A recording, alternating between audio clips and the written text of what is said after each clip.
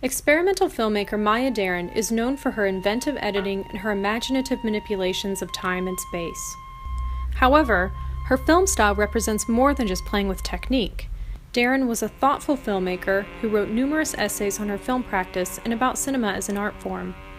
In this video, I'll look at three key principles that undergird Deren's cinematic philosophy amateurism, an interest in the body, and the manipulation of reality. Deren wrote multiple essays for a magazine called Movie Makers, the official magazine of the Amateur Cinema League. The league had been founded in the 1920s during a time when American culture valued amateurism as a practice of invention, industriousness, and a love of craft. Amateur Cinema League members viewed themselves as the ultimate cinephiles, free to discover the artistic possibilities of cinema because they were not bound to profit.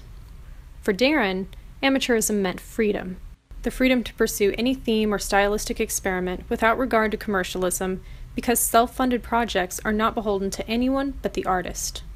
In her essay Planning by Eye, she writes I am firmly convinced that a prerequisite of really original and creative work is that a production be scaled modestly enough to afford failure. Like so many filmmakers in the first half of the 20th century, Deren was preoccupied with medium specificity meaning that she was interested in how cinema as an art form was different from other art forms. She and many of her contemporaries felt that too many filmmakers, particularly commercial filmmakers, relied too heavily on theater or literature, making static films with too much talking instead of taking advantage of cinema's ability to construct and manipulate movement and time. Movement is at the core of the second key principle of Deren's cinema the body. We see this theme on screen through her frequent portrayal of dance and her visual treatment of the moving figure. But Deren's interest in the body extends to the filmmaker as well. In such essays as Adventures in Creative Filmmaking, Deren encouraged amateur filmmakers to free themselves of the encumbrances of equipment, including the tripod.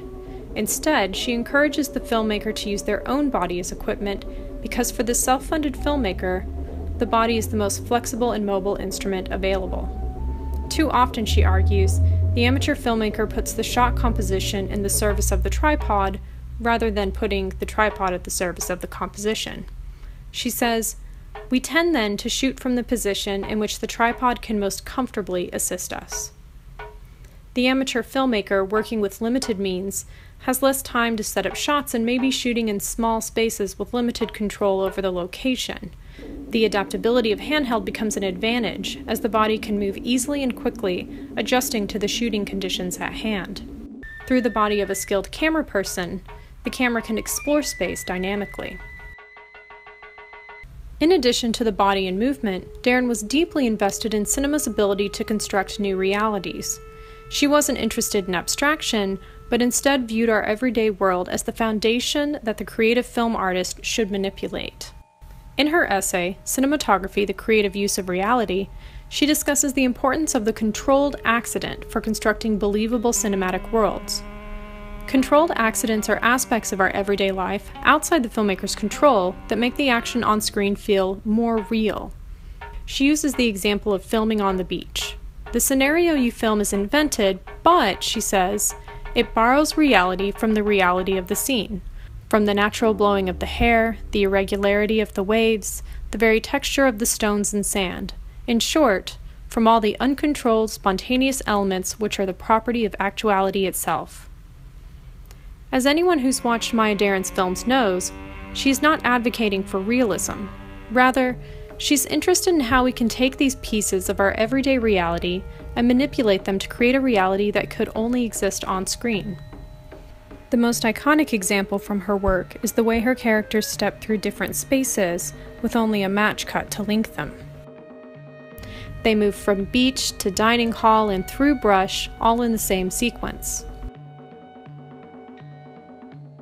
It's important to point out that Deren's techniques are always at the service of the film's overall concept or theme, something she emphasizes in her essays about filmmaking. For example, in Adventures in Creative Filmmaking, she writes, the techniques which I have described would have been of no interest at all if they were not conceived for the purpose of conveying meaning. She considered the mind the most powerful tool at a filmmaker's disposal, and in her writings encouraged other amateur and independent filmmakers to plan their films thoughtfully and creatively, and to always keep in mind the things that make cinema a unique form of art. I'm Laura Ivans. Thank you for watching.